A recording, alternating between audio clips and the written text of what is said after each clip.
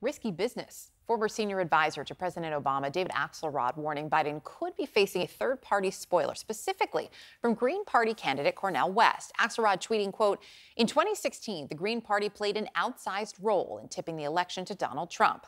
Now, with Cornel West as their likely nominee, they could easily do it again. Risky business. This comes as less than 40% of Americans say they view Biden or Trump favorably. Almost one in four voters, in fact, say they don't like either candidate, which is a key part of Cornel West's pitch. I just thought about all the creative, imaginative, courageous fellow citizens that I meet. And how do we end up with the two candidates? Trump on the one hand, Biden on the other. Good God. With Brother Trump, you've got uh, a, a, gangster in the objective sense. And with Biden, again, I love the brother, but he's a hypocrite. And he's pushing toward World War III when you talk about what, what, what he has to say about China and Russia.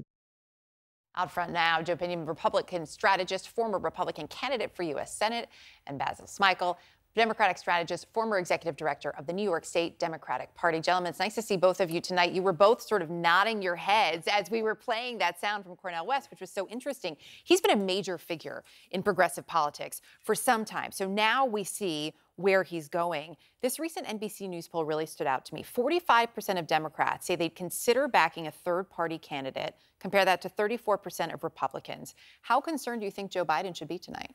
He should be a little concerned. And I'll say this because you know, my affinity with uh, uh, to Cornel West, he's my frat brother. I got my PhD in part because I was uh, in, drawn intellectually to the heft of his scholarship.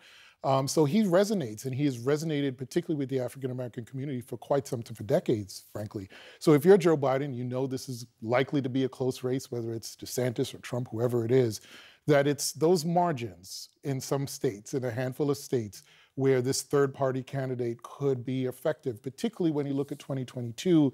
You see that numbers, especially in the African American community, were not where the Democrats needed them to be. So if there is concern about the, how close the general election might be, with memories of Jill Stein from 2016, mm-hmm. this is going to this should concern uh, uh, Biden and Democrats a little bit based on the issues that Cornel West will be able to address. So a little bit of a concern for Biden and the Democrats. What about for the Republicans?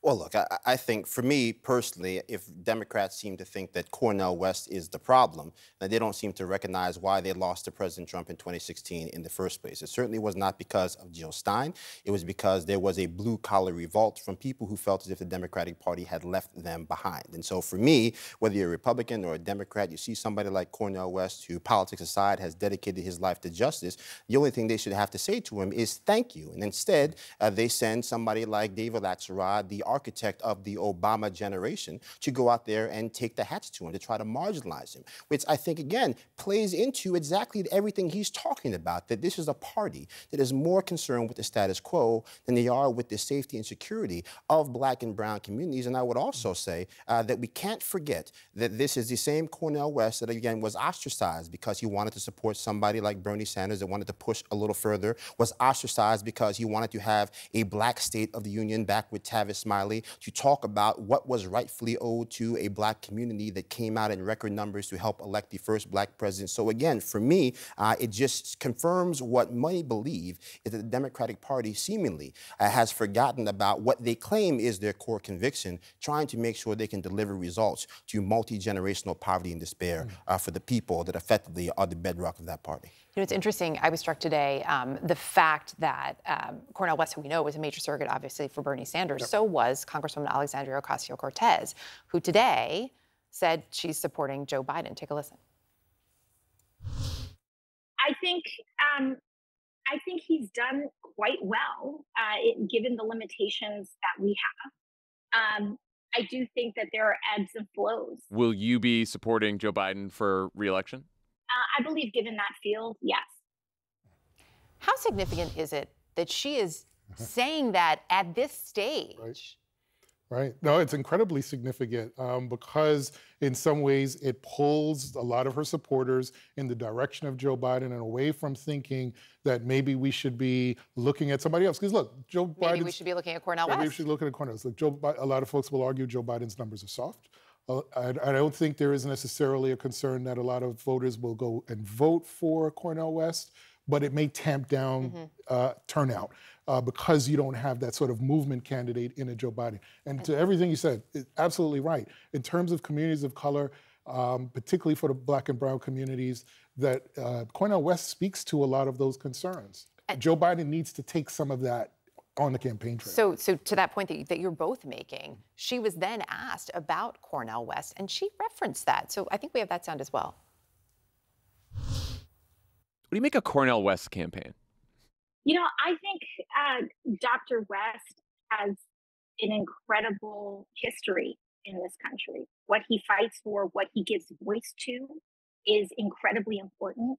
And the ability for us to talk about issues that, frankly, mainstream Democrats are often too afraid to touch I mean, Joe, that's essentially what you were saying. I mean, and, and, you're, I mean, you're both agreeing with each other, right? So, what is the potential, not just for Cornel West to maybe peel away some of those voters, and maybe even beyond people of color, right? We're talking about working class voters, full stop, in this country who are looking for somebody to talk about their issues.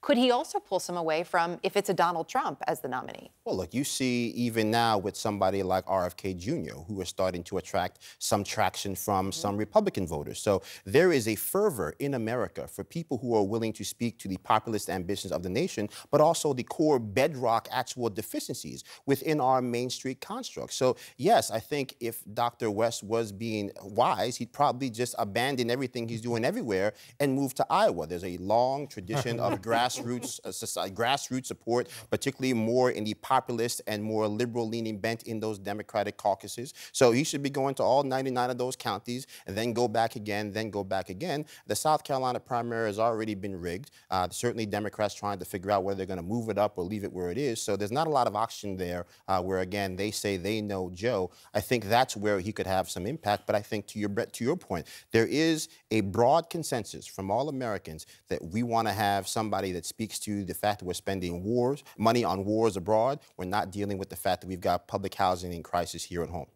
And if I could just add very quickly, there needs to, there needs to be a lane. I think AOC was speaking to this for a Bernie Sanders type candidate, someone who's going to pull the party and hold Democrats and hold them accountable for a lot of those issues that we haven't necessarily talked about, but if you look at what Bernie Sanders did, look at the impact he's had on how we've talked about college and college affordability mm-hmm. today, how we've talked about healthcare. There needs to be that voice in this conversation. And if Cornel West is going to play any part in this, that's the voice that that's the lane that I think he occupies. And to your point about the South Carolina primary, what Joe Biden can do, since that's likely the first primary, is start talking about those issues early set the tone, and hope that that carries into the general election. But speaking on it once, letting it go, not addressing it again, mm-hmm. is a losing proposition. And that's, and that's why you see so many more African American men, bit by bit, slowly moving to the right, because I think at some point they're willing to consider alternatives mm-hmm. because they feel as if their needs have been neglected for so long. Joe, Basil, great to have you both in the studio tonight. Thank you so much.